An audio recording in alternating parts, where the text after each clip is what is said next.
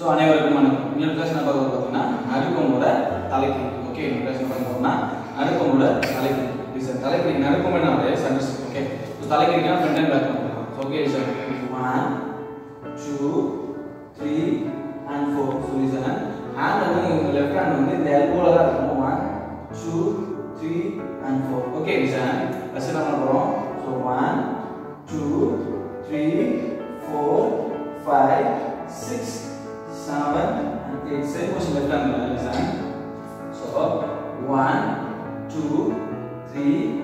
four, five, six, seven. Nih, ini tarik. So ini same musim tanggung the Ini dari bola dah, bola dah.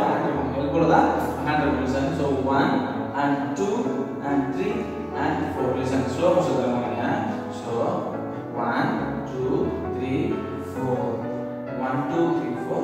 One, two, three, four. One, two, three, four. Same musim tanggung. So one, two, three, four. One, two, three, four. One, two, three, four. So next கிளாஸ்ல இதோட advance சொல்ல பார்ப்போம். Thank you நன்றி. Advance சொல்ல பார்ப்போம் please so கவனிங்க. So தலைக்கு என்ன front back one two three four five so ஃபைவ்ல பண்ணுறேன் கவனிங்க. சொல்லியிருக்கேன் so one two three four five பேக்ல பண்ணுறேன் கவனிங்க.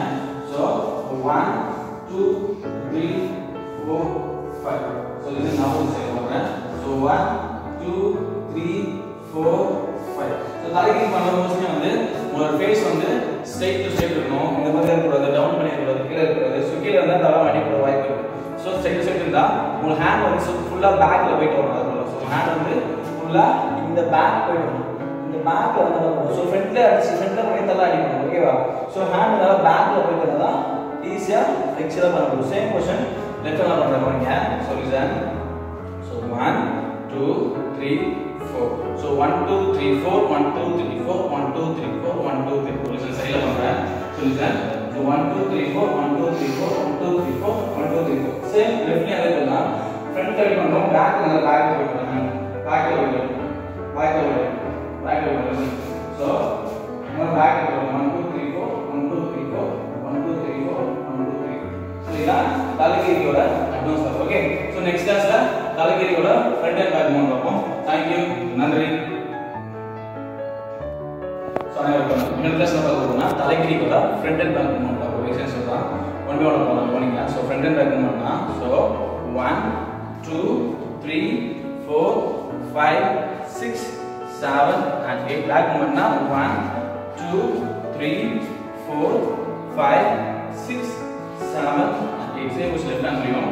புரியுது sir so one 2, 3, 4, 5, 6, 7, 8. Same goes back side. 1, 2, 3, 4, 5, 6, 7 and 8. So, இது நீங்கள் என்ன பண்ணணும்னா இது நல்லா லேர்ன் பண்ணிட்டு இது நல்லா லேர்ன் பண்ணிட்டு பண்ணால் தான் ஃப்ரண்ட் அண்ட் பேக் மூவ்மெண்ட் பண்ண முடியும் அப்போ நீங்கள் பண்ணணும் ஸோ லேர்ன் பண்ணாமல் நீங்கள் ஸ்டார்ட் பண்ணிங்கன்னா தேவையில்லாமல் தலையாகிடும் ஓகேவா ஸோ ஃபஸ்ட் நீங்கள் எல்லாம் லேர்ன் பண்ணணும் இது ஃப்ரீ ஃப்ரீயாக ஃப்யூ அண்டா அந்த அளவு லேர்ன் பண்ணிக்கணும் ஓகே ஸோ நீங்க எப்போ ஃப்ரீயா இருக்கீங்களோ அப்போ எடுத்து ப்ராக்டிஸ் பண்ணுறது one two three four same question left hand இப்போ லெஃப்ட் டென் பண்ணா சார் ரைட் டென் பண்ணா லெஃப்ட்டுக்கு டுவெண்ட்டி பண்ணணும் ஸோ நம்ம வந்து லெஃப்ட் ஹேண்ட் அதிகமாக யூஸ் பண்ண மாட்டோம். ஸோ லெஃப்ட்டுக்கு டுவெண்ட்டி பண்ணணும் ஓகேவா so one two three four five six seven and eight so one by one ஸ்லோவாக ப்ராக்டிஸ் பண்ணிட்டு front and back movement practice பண்ணுங்க. ஓகே ஸோ நெக்ஸ்ட் கிளாஸில் நியூ ஸ்டெப் போட பார்ப்போம். தேங்க்யூ நன்றி.